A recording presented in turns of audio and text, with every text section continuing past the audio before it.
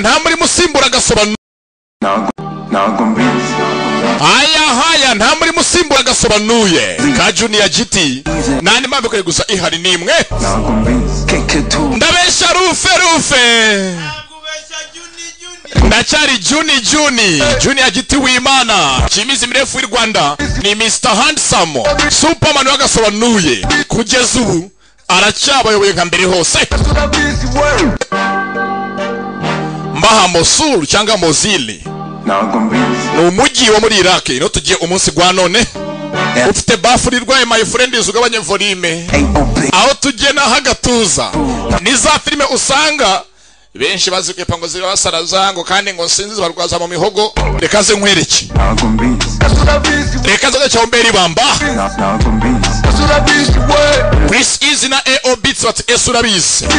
Ni gt business group ikuzaniye nk'ibisanzwe. Saba kuba ukiri young sinari mbizi nabimenya ari uko mbonye umuziki mbaha mosulu Igi hip hop driving, iri hardly Lifetime yacu nagira deeply, iri quickly going from driving Nothing rap, yo Yabikiye Petero sikia chris easy. Mwana wa Yesu mpyisi mbwira ya na ao beats. Rurangiza uzi gukora ntago ari imyaka gukora ni byo bivana ibwana ntago mbizi abakunzi ba mbizi aka rwose ntago mbizi za filime zirangira mwabuze. Umunsi gwa none. Kino gihembwe cy'akazi. Ntago. Niba utabizi zongera kubura mushiki wawe yateranyije abajama ku iseta umwe muri abo ateza fayita menshi ku myisiti ugaratinda nuko muganga na hari abatsinzo ari kurwanya bagira ngo ni fayina cyangwa sikia ao beats. Bakina muri sare muhoro reka turebe uyu ni bari na wabuti bamwise ao agapfubya n'inkono bakamukwena. Ntago mbizi ntago mbizi Na- ntago mbizi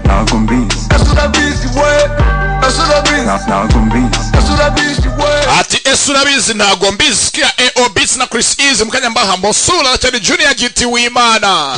Superman wagasobanuye mr imihanda perezida w'abasobanuzi nabatsindiye muri kamarampaka hagati aho ndamutse abasobanuzi mwese mufite agasura kaniwojya mtoto anataka katupale mbele kwanza kakujifurahisha hawezi kuomba maisha. Inoteza warasi. Wese ujya ubeshya wa mukobwa w'imahanga hageze hamwe n'icyaha. Okay sikia chris easy. Banza bamenye urasaba imana. Ntago mbizi. Okay musuri itangira my friends ukuntu iyi filimi iryoshye ngiye kubahereza. Ubona ubu ngubu byantindiye. Ntago mbizi. Baye afite bafuri irwaye nyamuneka yegezeyo.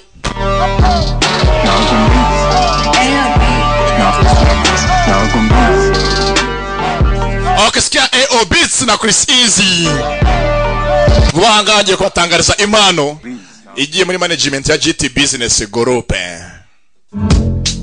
Mu gitondo cya kare umuntu yaba ukereye yambaye neza kefa yakeye. Ngabo.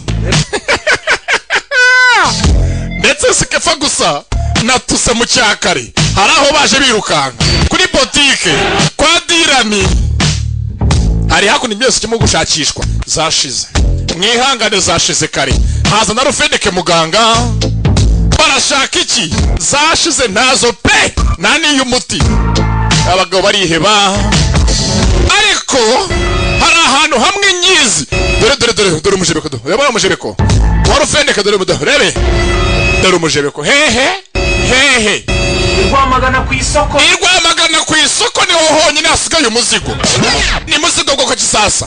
Bakeneye muzigo bwoko ki dore ngo abagabo baraturumbuka birukanka kefa rufendeke na tuse. Araka rufendeke kefa ukwa wenyine tuse hakurya iriya barashaka iki ku habuze iki muganga rufendeke dogita rufe rufe abagabo barirukanse abagabo baratibika bagiye rwamagana ku isoko. Barashaka iki? Ku isi habuze iki ko bakirukanse hamaze gucaho amasaha abiri. Hari ku isi icyabuze. Ni kasese. Ni kasese. Kasese yibuze abagabo barirukanka nta muri busimbura kasese. Kasese yubahwe kasese ni ubuzima. Mbahaye kasese. Kugeza ubu ni kasese. Kefa kankore depo. Zamvunnye kajye kudepa mu rugo. Maze nzinywe hashya n'ubundi nta myaka ijana yatahanye umuzigo kefa rufende ko nzayirahira tuse ibyishimo. Kasese yubahwe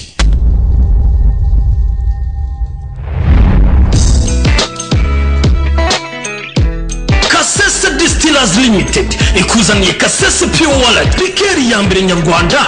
Itagira ifuka cyangwa ngo itere hangover. Kasese pure waragira aboneka mu gihugu hose kandi ku giciro cyiza. Ku bakeneye kurangura mwadusanga i gahanga mu cyanya cyahariwe inganda cyangwa mukaduhamagara kuri zeru karindwi umunani umunani mirongo ine n'umunani mirongo itatu n'umunani mirongo itanu na karindwi. Mu cyakare ugiye mu kazi hari igihe byanga. Imyaku ni imyaku kandi ntiteguza. Ibaze umubosi nk'uyu nguyu gitiwe imana ukeye gusaya. Gusaya ni agasuzuguro. Gusaya ni uguseba. Sasa haza ya majeya yacu aya majeya twemera. Ya majeya twubaha wantabaye jeya dore rwose warateruye ufite ukuntu umeze uruzuye cyane ngaho rwose asunikiraho rimwe wapi?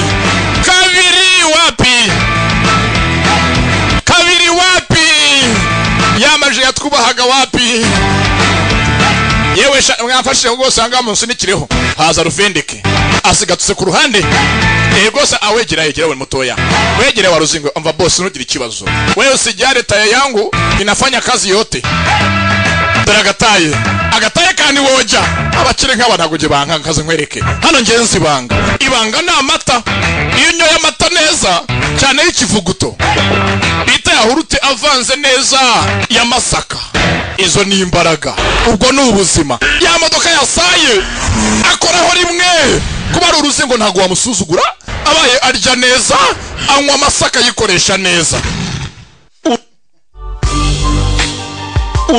Uruganda masaka kurima limited. Igisubizo mu kugira imbaraga ubuzima buzira umuze no gutunga umubiri ukomeye. Wikoreshereza porodagiti zituruka ku mata bagutunganyiriza. Akarusho poroduwi zacu zikoreshwa n'ingeri zose yaba abakuze cyangwa no ku bana. Tugufitiye vanilla yogurt strawberry yogurt n'ikivuguto ndetse n'ibindi byinshi cyane. Ku bindi bisobanuro wadusanga aho dukorera mu cyanya cyahariwe inganda i masoro muri free zone. Cyangwa ukaduhamagara kuri telefoni yacu ariyo zeru karindwi umunani mirongo icyenda n'icyenda cumi na rimwe kabiri mirongo ine na kane. Masaka yubahwe. Nta murimo usimbura masaka. Reflexology center. Uwamenye iki? Bwa buri genuine reflex ubu dufite reflexo ibihumbi icumi reflexology center. reflexology center ku kimironko aharebana na reg ishami rya remera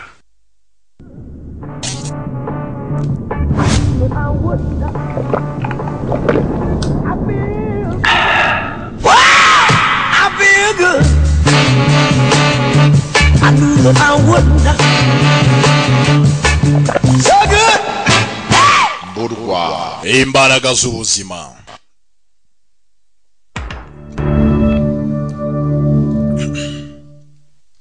reka mbahe agasobanuye. Muzanshinja ikindi. Dore ko nta murimo n'umwe mu isi usimbura agasobanuye. Nta n'impamvu yo kwireguza n'imwe ihari. Ndabeshya dira dira. Wose jya ubeshya. Ndacyari junior giti w'imana cyimizi mirefu y'u rwanda. Ni wa musobanuzi uyoboye ushoboye ndetse unashobotse. Aracyari mr handsome. Cyangwa superman w'agasobanuye. Sibyo rufe? Frontline command. Rero mumva imbazaniye umunsi gwa none ni filimi iryoshye. Nk'ubuki bwivanze n'amata. Agbo nabaguteguriye hamwe na gt business group. Saa mu gutangira hari inkuru iganirwa. Ni inkuru y'intambara imagination abu dhabi. Nabaguteguriye. Inkuru y'intambara. Hano kugana mugeze nk'ibisanzwe bati intambara ya isis na iraq mu gace ka mosuru irimo kurangira ndetse mosuru ni umujyi ukomeye wungirije bagidadi umurwa mukuru wa iraq. Intambara iri ku iherezo hagati ya iraq na isis. Dore icyo bita intambara my friends mu mujyi wa mosuru ni umujyi wungirije umujyi mukuru w'igihugu cya iraq ndetse isis bazi nka daesh mu gace k'iwabo kuko iminsi yicuma. Barimo gucika intege. Bahemukiye benshi bafashe ku ngufu baratoteje baranishe. Ni aba isis tuzi nka daesh mu kirimi cy'iwabo islamic state of iraq. And the levant niko babita isis. Dore ikiraha. Mugenzi kuva daesh yabaho benshi bagiye bayitinya ari kipe ya swat ya nenewi cyangwa neneve barabarwanyije n'uyu munsi barabazonga kugera aho umunsi ku munsi babaca intege. Hari agakundi gato k'intarumikwa. Zafashe umwanzuro byose tugane urugamba zivuye inyuma zice umwanzi intege zimuce mu gace. Bishe benshi muri ba dayeshi babazengereza kugeza n'uyu munsi umusirikare mugenzi ufashwe muri bo ntago yemera kuba yatatira ngo ajye mu bunyeshyamba ate abenegihugu. Ahubwo birangira yishwe. Nenevi swati cyangwa nenewi. Yo muri bibiliya. Ndetse uyu munsi ikipe ya swati iri muri misiyo yabo ya nyuma niyo guca burundu dayeshi bakazimira nta kugaruka kwabo mu gace ka mosulu based on true events iyi filime ishingiye ku nkuru mpamo z'ibyabayeho. Ntago ari inkuru mpimbano ntago ari igihuha. Ni ibya nyabyo karacyatangira. Sasa mu gutangira urugamba rwambikanye mu gace ka mosulu karacyatangira bakise mosulu ni izina ry'agace izina ry'umujyi mbese ni umujyi wungirije? Umurwa mukuru w'igihugu bagdad muri iraq. Mbese nk'uwavuga nyamata dore yungirije kigali. Kiranga dore urugamba rwa polisi. Fashe musakure ibyihebe igenda rijya kurwana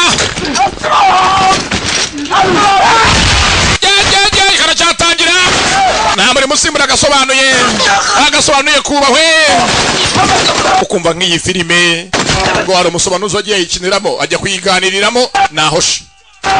Nahoshi. Rwose byakemutse abasobanuzi bose filime bajya bazitobanga tugiye tugiye kubaca. Abasobanuzi ba ntiwojya twabahagurukiye kwica akazi k'abadije bakeneye kubaho. Filime zo zikindiremo ukenera amafaranga